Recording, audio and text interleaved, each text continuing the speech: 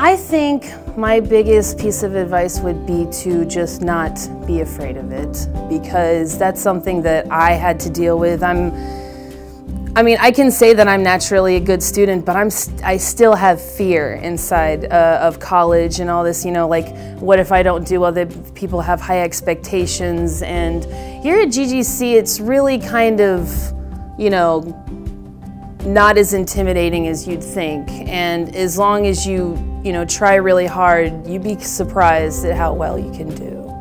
As, as excited as I am to leave, I, I, am, I am gonna miss, I am gonna miss being here. And it is a great campus and I hope that it's continues to grow and, you know, becomes something big, big, big in the future.